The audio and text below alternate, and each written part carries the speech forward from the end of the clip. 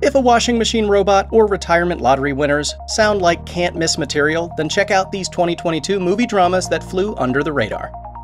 Steve Pink might not be the biggest name in showbiz, but he did direct the cult classic comedies Accepted and Hot Tub Time Machine. It turns out he also has a knack for drama based on The Candid and Touching the Wheel, which is about a young couple on the verge of divorce. Albie and Walker met when they were 12 and fell for each other hard. As The Wheel begins, their eight year long marriage is dangerously close to complete collapse. So they rent an Airbnb cabin from a lovely couple in the woods to give their union one last shot. With the guide of a dime a dozen self help book, Walker wants Albie to go through a set of questions over the weekend. But she isn't exactly keen on participating, as she's really just waiting for the perfect moment to end their relationship. During all this, the owners of the cabin begin to interfere with their guests' marital issues, which only makes matters worse. What makes The Wheel worthy of praise are the central performances by Amber Midthunder and Taylor Gray, whose chemistry is palpable as their characters' opposite personalities clash. The result is a heartbreakingly honest drama where we get hurt just as much as they do by the time the credits start to roll. A veteran of several Ricky Gervais projects, David Earl is a familiar face to fans of British comedy. He usually plays shy, introverted, and often miserable outcasts who are inherently funny and relatable by design. In the Jim Archer directed feature Brian and Charles, Earl delivers another variation of his typically quirky and pathetic persona. The film follows Earl as a lonely man named Brian who lives by himself in a village in the Welsh countryside. He spends most of his days scavenging scrap and using whatever he can find to build odd things that nobody really needs. One day he stumbles upon a mannequin's head, along with an old broken washing machine, which leads to him building a robot. The thing doesn't work at first, but after a stormy night, the robot mysteriously comes alive and learns to communicate, and Brian names him Charles. What follows is a weird but sweet friendship between an amusing machine and an isolated man who longed for a companion his whole life but never had one until now. Brian and Charles' humor is delightfully strange and awkward, but its most endearing aspect is how it depicts a touching benevolence underneath its protagonist's trauma. You soppy sod.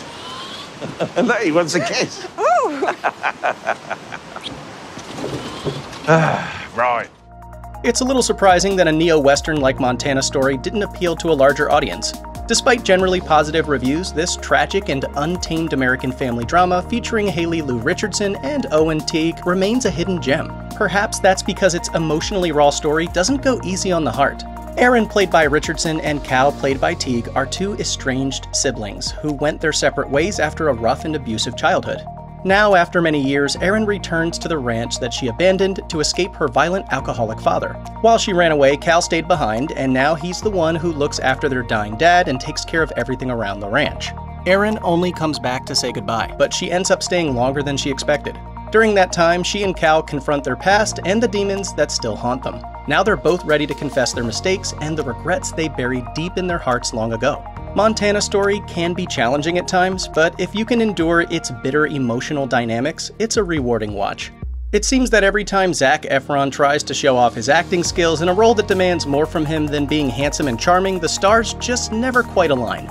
But maybe we should give him more credit, and the survival drama Gold is just the latest reason why.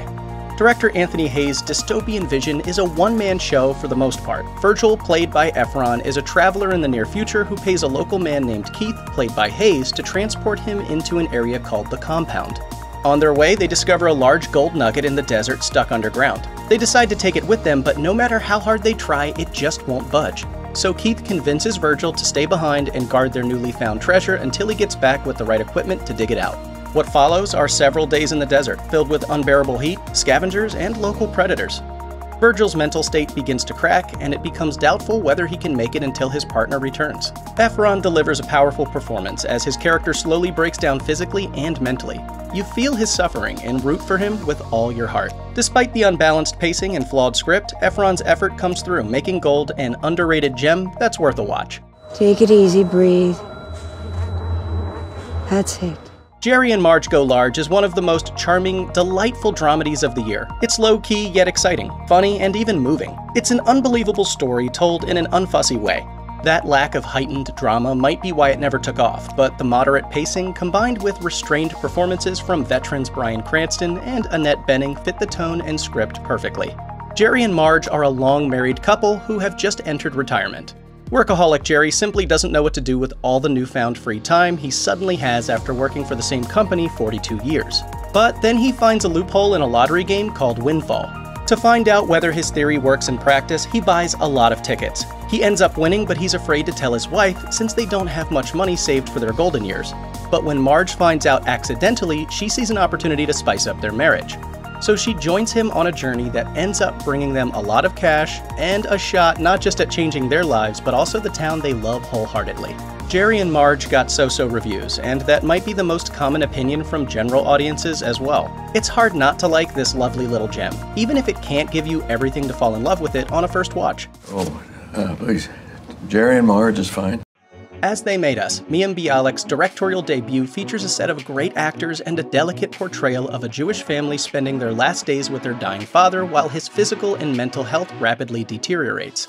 Dianna Agron plays Abigail, the daughter, caretaker, and glue of the family. She's also a single mother raising two kids while trying to take care of her elderly father Eugene, played by Dustin Hoffman.